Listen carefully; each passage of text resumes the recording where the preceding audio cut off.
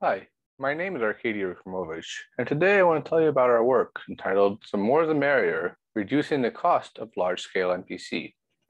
Uh, this is joint work with Dov Gordon from George Mason University and Daniel Starin from Peraton Labs. So as the title suggests, uh, this paper is going to be about optimizing the performance of M secure multi-party computation or MPC. And in particular, we're going to look at the setting where we want to run it secure computation between, you know, very large numbers of parties. But unfortunately, you know, even though MPC has been a research topic in the crypto community, you know, for over 30 years, most of the truly practical protocols are really specialized for small numbers of parties, think, you know, two, three, or four parties. And the reason for that is that in most of the protocols today, uh, as the number of parties grows, the per party cost actually increases as well. So we're not getting sort of savings by increased number of parties. Instead, the costs increase. And so in general, we don't look at the case for many number of parties. And this uh, brings us to our goal, which is how do we build large scale MPC such that the per party cost diminishes as the number of parties grows. And so, you know, with this goal in mind, we achieve the following result our main theorem says that assuming a secure pseudorandom generator, uh, there exists an MPC protocol that's secure against a static malicious adversary corrupting at most a third of the parties uh, that has uh, both communication and computation that decreases as n grows. And in particular, uh, the communication sort of behaves as O of um, the circuit size over the number of parties, uh, while the computation grows as S log n over n times the circuit size, uh, where S is a statistical security parameter. So today I'm going to present to you how this uh, construction works. But uh, before I do that, I want to quickly say that we're of course not the first ones to achieve uh, you know, MPC whose cost decreases number of parties increase. In particular, traditionally, uh, such MPC protocols fall under the title of sublinear MPC. And the reason is that when you look at the total cost of protocol, if it grows sublinearly as the number of parties increases, then the average per party cost uh, is decreasing. There are two general approaches for achieving sublinear MPC.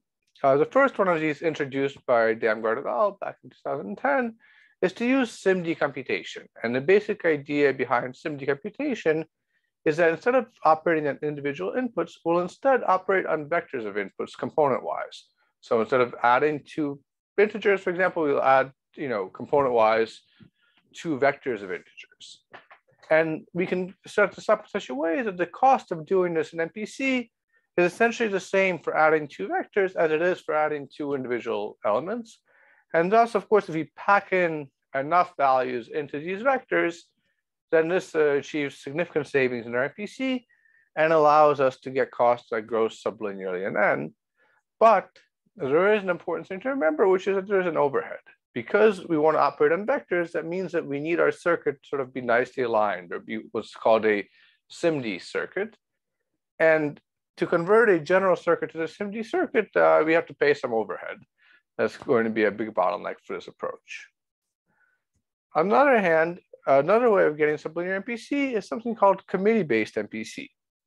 And here's the idea is instead of running our MPC protocol on all n parties, let's first elect a small committee, in particular, say a committee of size of polylog n to preserve the uh, you know, honest party threshold.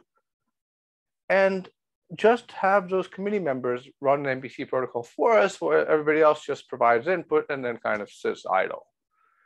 And the point is, of course, you know, because all these uh, non-committee members are doing nothing, the total amount of work and hence also the average amount of work does decrease. Uh, but this also has a drawback that the committee members still do a good amount of work, right? So the non-committee members do nothing, but the committee members do do a lot of work. And you know, both of these approaches sort of have some drawbacks. And uh, our solution really is going to take these and combine them to sort of get the best out of each one in order to achieve a solution that beats all prior ones. In particular, let's uh, quickly compare our solution to the best prior available solutions. Uh, so if you look at the best SIMD-based solution by Damgard et al., uh, you will actually see that our solution is or their solution is O of log C times worse than ours. And this, of course, comes from having to convert, uh, you know, a general circuit into a SIMD circuit. Now, I should say that subsequent to our work, uh, very recently at Crypto 2021, uh, Goyal et al. showed how to reduce this overhead from O of log C uh, to O of 1. Uh, but unfortunately, their protocol does not have an implementation, and so it's very hard to judge how it concretely compares to our protocols, and we leave that for future work. Um, then uh, looking at sort of uh, committee-based approaches, the best solution there seems to be a folklore solution where you kind of elect a large number of committees and then have them execute, you know, the whole protocol together.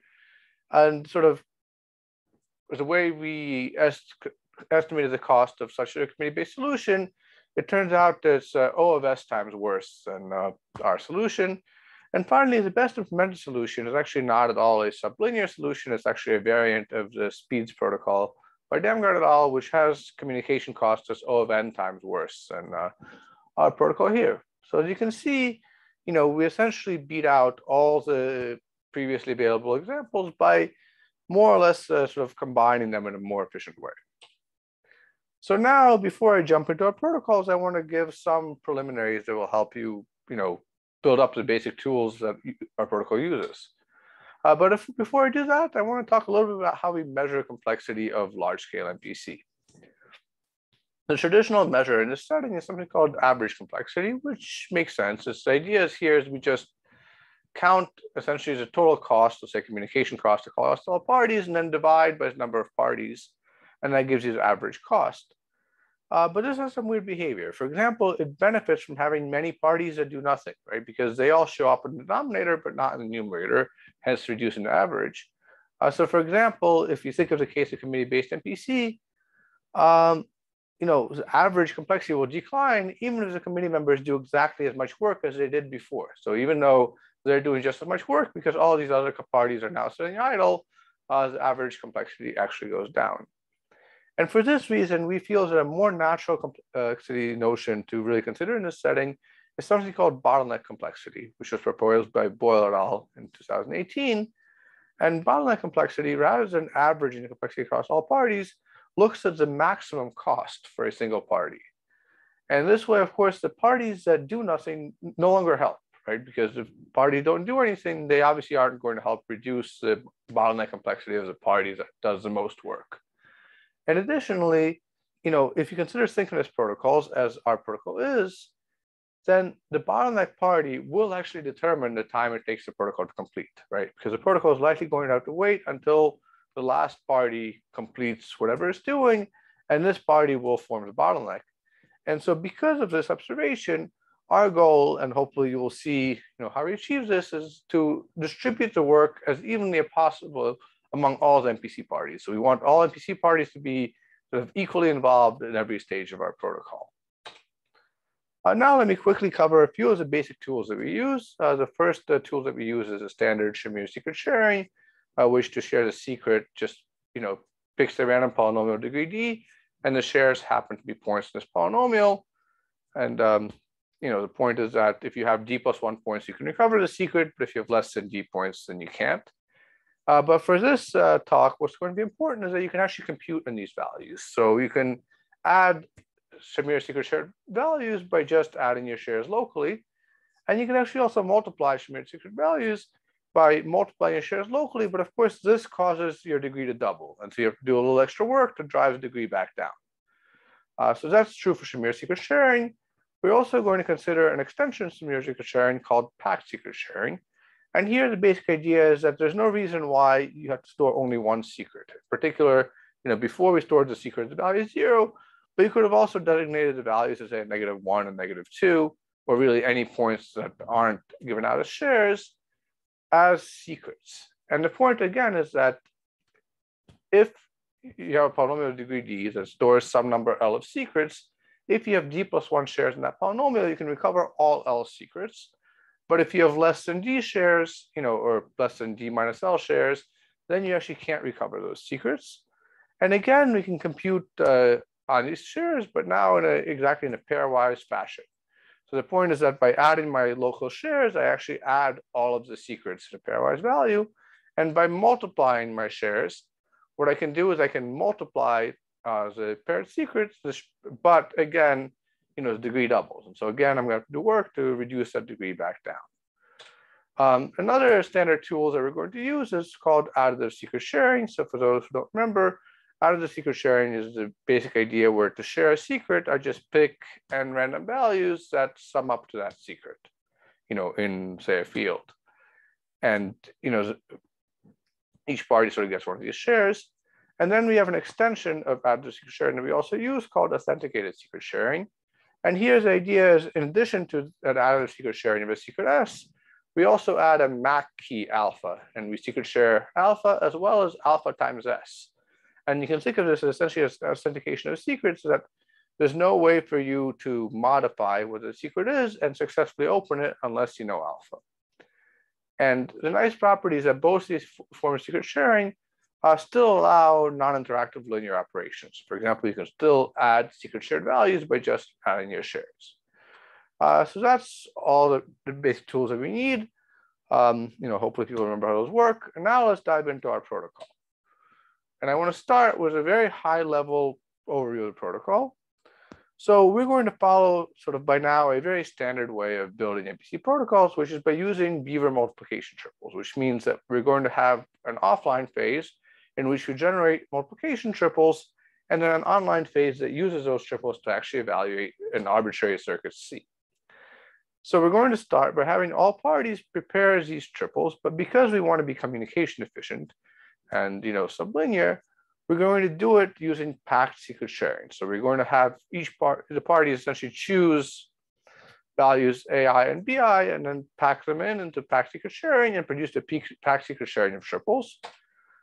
Then we're going to take those um, packed secret shared triples and somehow unpack them because remember we want to compute general circuits, so we can't want unpack triples standard out of the triples, which we then pass into online committees uh, that then authenticate them, and then uh, you know run some online uh, MPC protocol. And we'll cover all these steps in a little more detail now.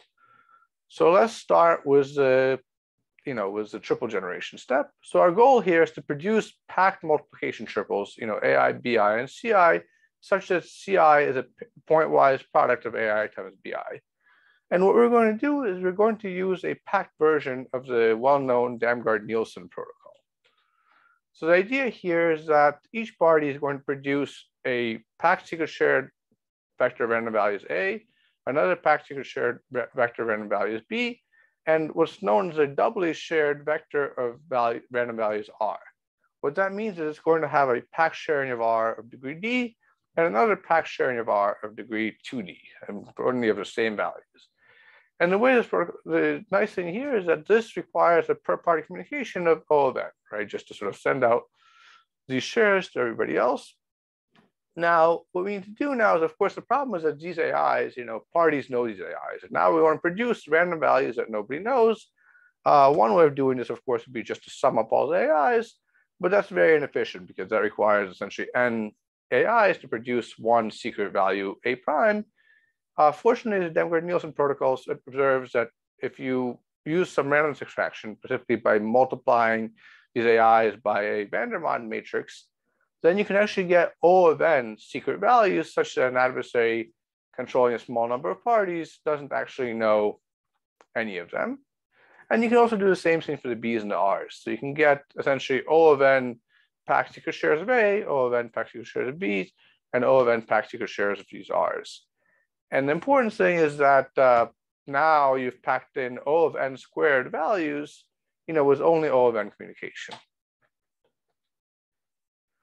And now we do the following, and this is again still following Damgard-Nielsen protocol. So what we do is we have each party locally multiply their packed vector A, you know, this A prime they produce times vector B prime, and add to it this uh, 2D secret sharing of R prime, right? So the problem is when you multiply A times B, the polynomial degree went up to 2D, but you can still blind this with uh, this 2D secret sharing of R. And then you open that value to a designated party, let's say P0. P0 can now reconstruct all of these secrets. So you can reconstruct this factor AI, AI BI plus RI. and he's going to again reshare it as a packed secret sharing, but now of degree D. Now, all the parties receive their shares of this packed secret sharing.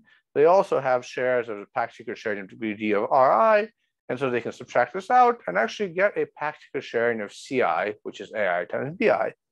And so it seems great because now we have n squared packed values, and it took us only O of n per party communication, but not so fast. Unfortunately, there's a problem. And the problem comes from something that was observed by um, Genkin et al. that showed that actually this packed version of Damgard-Nielsen is vulnerable to something known as a linear attack. So the idea here is that these the inputs of the AI or the BI, if one of them is not validly formed, meaning that they're not actually uh, degree D secret shares, then the adversary can cause correlation between the pack slots. So for example, here, we see that the second slot of the product vector has a term that depends on the first slot of the input vectors. And this is very problematic. In particular, if you work through the online phase of the protocol later, you'll see that having such correlated uh, products and such correlated triples actually completely breaks security. But fortunately, as there's an easy fix in this setting, uh, basically we just need to check that all the original sharings of AI, BI, and RI are actually valid sharing in the sense that they are all lie in a degree D polynomial.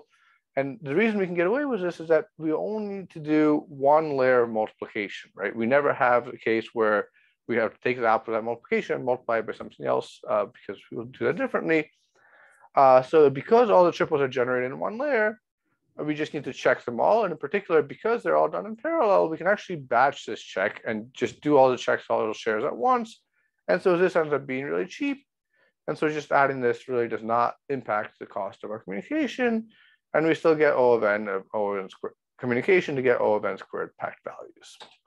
So this is great. Now we have these uh, packed triples. So what do we do with them? Uh, so let's think about that. So what can we do with these packed triples? Oh, here we go. So the first thing we can do, of course, is we can just perform the online computation on the packed values. We already talked about this. You know, we can do SIMD computation uh, but unfortunately, this means that you pay an O of log C overhead to convert your circuit into a SIMD circuit.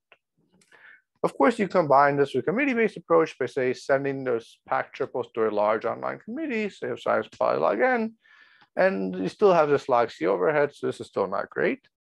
A third approach that is going in a somewhat different direction is to say, okay, let's actually unpack these triples first. So we have these packed triples, let's just unpack them.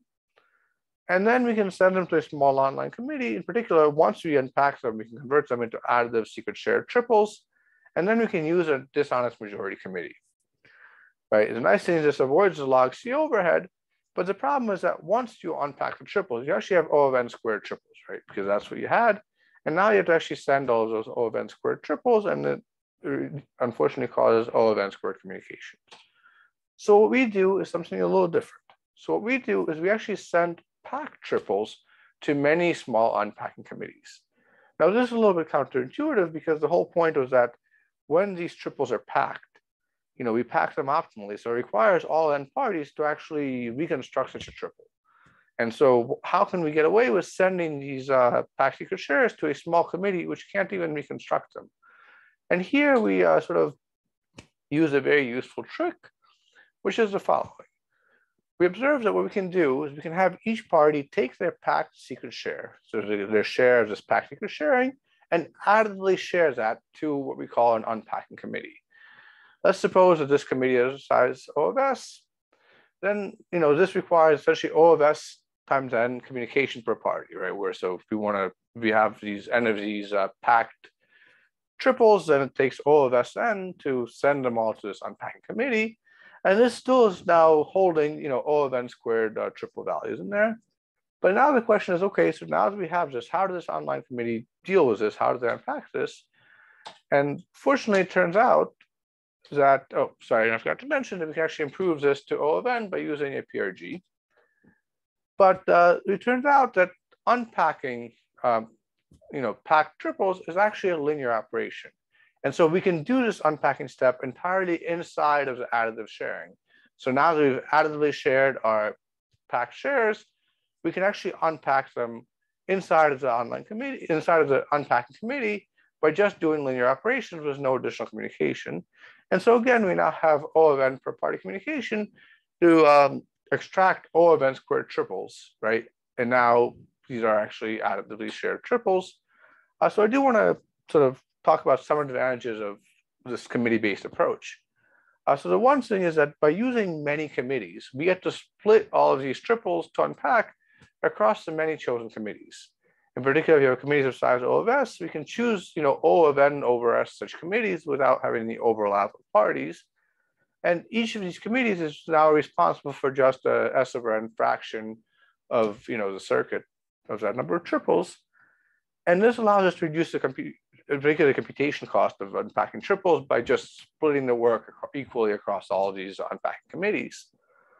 And the other benefit is, as we've said, is we sort of switch now to dishonest majority committees by using out of the secret sharing. And the observation here is that if we think of concrete values, you know, if we wanted to use even honest majority committees uh, to achieve, say, uh, two to the negative 40th probability of failure of selecting a good committee, you need to check. Remember, we started with a t less than n over three overall population. You would actually have to select about 430 parties in your committee. Whereas just to guarantee, you know, at least one honest party in each committee, you only need to select a committee of size approximately 25. So as you can see, even concretely, you know, this is savings of a factor of almost 20 uh, by electing, you know, many, many more committees and uh, keeping them as small as possible. So now moving on, of course, now we know that we unpack these things into these additive um, secret shared um, secret shared triples. Now we need to finalize how do we actually compute on this. And for this, we just follow the details of the SPDZ protocol. So essentially what we do is we have these unpacked additive secret shared triples. Uh, the first thing we do is authenticate them. Uh, for this, we just kind of use a standard technique that originates from the SPDZ paper uh, that requires us using eight unauthenticated triples to produce one authenticated triple. Uh, we also use the same approach from SPDZ to do the inputs and also just end up using the SPDZ protocol in each of our committees to actually evaluate the circuit. So now let's think about how well does our protocol perform. So again, you know, what we've done is we use an initial pack secret sharing step to produce our triples. And then we use a you know, committee-based approach to unpack and run the online phase of the protocol. So how well does this work? Well, so for the first comparison, we actually came up with a folklore solution that most resembled our uh, approach, which is as follows. Basically, you take committees, either honest majority committees or dishonest majority committees, and you use as many of them as possible to compute the offline phase and online phase of the protocol, you know, also transferring triples in the meantime. And we, you know, figured out what the cost of that would be. And if you look at least the communication, you know, across the board, our protocol beats uh, the, the best possible sort of folklore committee-based approach directly because we're using these uh, sharing combined with uh, committee-based approach. And just a comment, we use the protocol of Chida et al. for honest, honest majority, and we use SPDZ for dishonest majority. Uh, then we also implemented our protocol to evaluate, you know, how does it perform completely in the real world. Now, I do have to say that we didn't have you know millions of parties to run this on, especially with communications. The communication is estimated and simulated, but the computation costs are actually measured uh, using the libiop library. And you can see the results here shows that for you know n at say up to two to 20, you can clearly see that uh, you know the performance is improving as n is increasing. And in particular for n equals two to 20, we're able to produce you know a million authenticated triples in about 10 milliseconds. So hopefully you see that as n grows, clearly the you know, amount of work is decreasing and the efficiency of our protocol is growing as well, or as we would like to say, the more, the merrier. Thank you very much for listening.